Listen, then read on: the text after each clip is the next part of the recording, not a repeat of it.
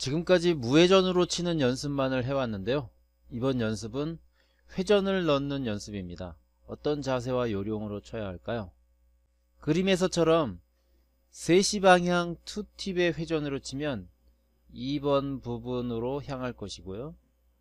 1팁은 1번 3팁은 3번 최대 회전은 M으로 향할 것입니다.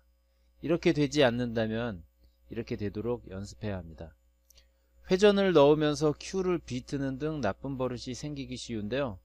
Q를 비트는 버릇은 두께의 정확도를 떨어뜨리므로 곧바르게 앞으로 쭉 뻗는 스트로크를 익히시기 바랍니다.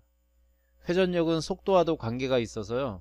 같은 당점을 치더라도 느리게 치면 회전이 덜 들어가고요. 빠르게 치면 회전이 많이 생깁니다. 그림과 같이 되도록 또는 자기만의 기준점을 정해놓고 그에 맞는 회전력을 자신이 필요할 때 언제든지 구사할 수 있도록 연습하시기 바랍니다.